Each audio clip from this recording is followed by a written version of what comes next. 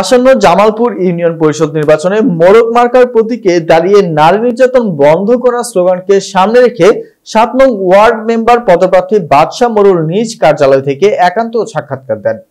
সাক্ষাৎকারটি নিয়েছেন আমাদের প্রতিবেদক এম এ আজিজ। আমি মোহাম্মদ বাদশা মোরল। আমি জামালপুর ইউনিয়ন পরিষদ সাত নং ওয়ার্ডের মেম্বার পদপ্রার্থী। আমি সাবেক জামালপুর কলেজ শাখা ছাত্রলীগের প্রেসিডেন্টের দায়িত্ব পালন করেছি দীর্ঘ পাঁচ সাত বছর।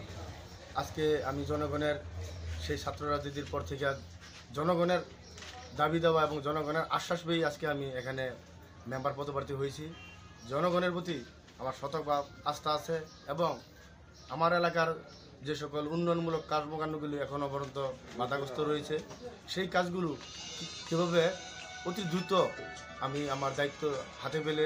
আমি আমার নিজ দায়িত্বে, আমার নিজের পরিবার মনে করে আমার সম্পূর্ণ ওয়ার্ডটিকে আমি চেষ্টা করব সেই কাজগুলো বাস্তবায়ন করার জন্য এবং আমার এই ওয়ার্ডের স্কুল, মাদ্রাসা, শিক্ষা প্রতিষ্ঠান যেগুলো রয়েছে, সেই শিক্ষা প্রতিষ্ঠানের আওতাধীন যে সকল গরিব মেহনতি মানুষ রয়েছেন, যারা নাকি অর্থের অভাবে পড়াশোনা করতে পারে নাই, তাদের প্রতি আমার একটি সুদৃষ্টি সবসময় থাকবে এবং জননীতি শেখ হাসিনার যে মাদক এবং সন্ত্রাস এবং নারীদের মা বন্ধুর উপর নির্যাতন মুক্ত যে বাংলাদেশ গড়ার প্রত্যয় এবং গ্রামকে শহরে পরিণত করার যে প্রত্যয়, সেটি বাস্তবায়নের জন্য আমার পক্ষ থেকে সার্বিক সহযোগিতা থাকবে এবং আমাদের এলাকার, আমাদের এই এলাকার এমপি মেহরারপুর চম্পিয়া পার সহযোগিতা কর্মে, ওনার সাহায্য কর্মে, ওনার পরামর্শ কর্মে এলাকার যে সকল যে সকল উন্নয়নমূলক কাজগুলো বাধাগ্রস্ত রয়েছে, ওনার সহযোগিতায় আমি সেগুলো ওনার সাথে পরামর্শ করে আমি চেষ্টা করব মানুষের দুর্ভোগ, দুর্দশা যাতে আমি মোহাম্মদ বাদশা মোরল।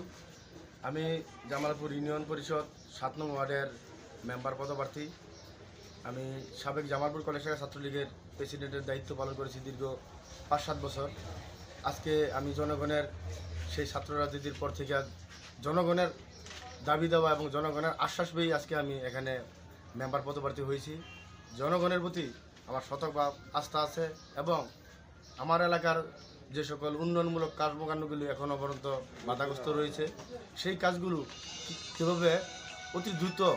আমি আমার দায়িত্ব হাতে পেলে, আমি আমার নিজ দায়িত্বে, আমার নিজের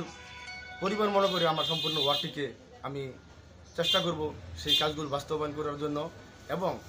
আমার এই ওয়ার্ডের স্কুল, মাদ্রাসা, শিক্ষা প্রতিষ্ঠান যেগুলো রয়েছে, সেই শিক্ষা প্রতিষ্ঠানের আওতাধীন যে সকল গরিব মেহনতি মানুষ রয়েছেন, যারা নাকি অর্থের অভাবে পড়াশোনা করতে পারে নাই। তাদের প্রতি আমার একটি সুদৃষ্টি সবসময় থাকবে এবং জননীতি শেখ হাসিনার যে